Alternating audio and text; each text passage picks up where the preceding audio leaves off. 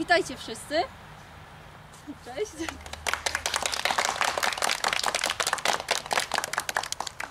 Dzisiaj Ruda śpiewa Nikosiowi. Mamy nadzieję, że nas trzy głosy polecą tam wysoko, wysoko, gdzie jest Nikoś i cała jego rodzina usłyszy nas śpiewających.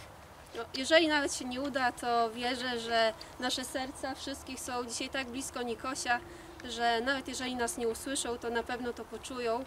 E, I wszyscy życzymy, żeby Nikoś jak najszybciej nazbierał potrzebne pieniążki i żeby mógł rozpocząć leczenie.